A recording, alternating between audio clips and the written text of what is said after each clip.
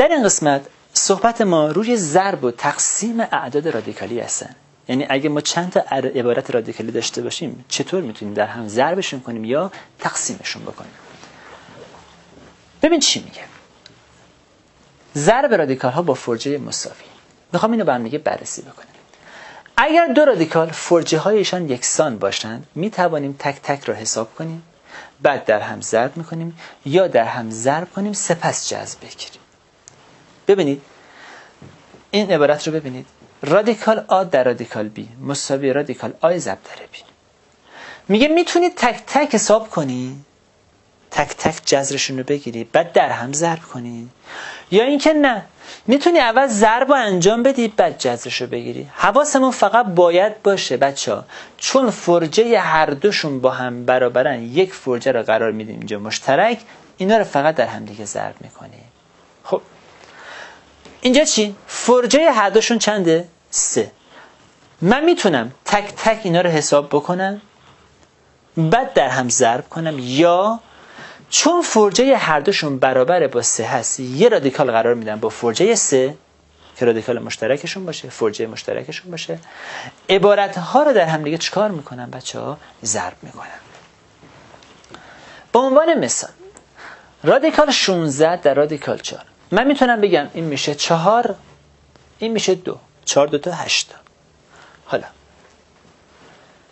یا اینکه می‌تونم بگم چی؟ اول ضربشون بکنیم فرجه هر دوشون برابر با چند بچه دو.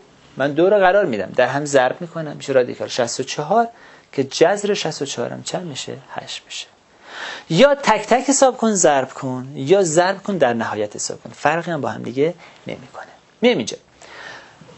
ریشه سوم 27 در ریشه سوم 64 خب 27 3 به توان 3 64 4 به توان 3 3 با 3 ساده میشه. 3 هم با 3 ساده میشه و در نهایت 3 ضرب در 4 12 میشه. به عبارتی دیگه چیکار می‌کنیم؟ فرجه هر دوشون برابر با چنده 3 هست. من یک رادیکال با فرجه 3 قرار میدم مشترکشون. میام 27 رو در 64 ضرب می‌کنم که 1728 میشه که اگر ازش جذر بگیرم با فرجه 3 جواب چند میشه؟ همون 12 میشه. البته این راحت تره که تک تک حساب کنیم بعد در هم دیگه ضربشون بکنیم ولی خواستم بگم که با هم دیگه فرقی هم نمی‌کنن تذکر. دو رادیکال با فرجه های نامساوی را نمی‌توان زیر یک رادیکال ببریم. خب این بدیهیه. ببینید. رادیکال اولی فرجمون چنده؟ سه. رادیکال سه عذر می‌خوام فرجمون دوه. رادیکال سه با فرجه دو. بعدی رادیکال 6 با فرجه سه. آیا با هم برابرن؟ نه. قبلیه رو گفتیم چی؟ گفتیم چون با هم برابر بودند بردیم زیر یک رادیکال. حالا انشالله سال بعد ریاضت دهم نحوه حل این گونه سالات رو می‌خونید که چجور باید فرجه مشترک بگیریم. اما خواستم اینو بگم. ما حق نداریم اینا رو در هم ضرب کنیم. یا مثلا این فرجه رو قرار بدیم یا مثلا این فرجه رو قرار بدیم. این اشتباهه نمی‌تونم فرجه دو رو قرار بدم به تنهایی برای هر دوشون.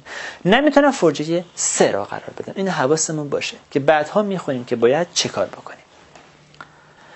تقسیم رادیکال با فرجه مساوی. در تقسیم رادیکال با فرجه های یکسان می توانیم ابتدا دو عدد را بر هم تقسیم کرده سپس ریشه آنها را گرفته و یا اینکه تک تک ریشه اعداد را محاسبه کنیم بعد حاصل را بر هم تقسیم کنیم. ببینید رادیکال آ تقسیم رادیکال بی. عین همون ضرب فرق نداره. می‌تونید تک تک جذر بگیرید بعد تقسیم کنید یا اینکه نه. بچه فرجه هر چنده؟ دو هستش. می‌تونیم هر دوشو به هم تقسیم کنیم بعد ازش جذر بگیریم. چون فرجه هر دو با هم برابره. این حواستون باشه. یا در اینجا فرق نداره. می‌تونیم تک تک رو حساب کنیم. بعد تقسیم کنیم. یا اینکه میگن فرجه هر دوشون برابره با چنده؟ سه هستش. یک رادیکال قرار میدن با فرجه سه مشترک. آ رو تقسیم بر بی می‌کنن. به عنوان مثال رادیکال 36 تقسیم رادیکال 49 چه کار می‌تونم بکنم؟ جذر این جداگانه. اینم جداگانه جواب چند میشه؟ 6 هفتم. یا اینکه می‌تونم بیام چیکار کنم؟ 36 رو تقسیم بر 49 کنم. یعنی هر دو چون برابر فرجه برابر با دو هستن ثابت هستن یک رادیکال قرار میدم با فرجه دو. جفتش رو بر هم دیگه تقسیم می‌کنم. خب 36 تقسیم بر 49 جذر میشه 6 جذر این چند میشه؟ 7 میشه. فرقی نکرد. یا اینجا. 144 جذرش 12 36 جذرش 6 میشه 12 تقسیم بر 6 من جداگانه حساب کردم. حالا می‌تونم چیکار کنم؟ که جوابش هم میشه دو میشه. حالا می‌تونم بگم چون هر دوی این دوتا دارای یک فرجه هستن که فرجه برابر با دو هست یک رادیکال مشترک رو قرار میدم و 144 رو تقسیم بر 36 می‌کنم. که رادیکال چهار میشه و در نهایت جذرش برابر با چند میشه؟ دو. هیچ فرقی هم با این نکرد. چه جداگانه؟ چه تقسیم؟ هیچ فرقی نمی‌کنه. ریشه سوم 125 تقسیم بر ریشه سوم 8 خب چی میشه؟ به جای 125 5 به توان 3 به جای 8 2 به توان 3 3 با 3 ساده میشه. اینم با این ساده میشه و در نهایت جواب میشه 5 دوم. حالا این نکته رو بچه ببینید.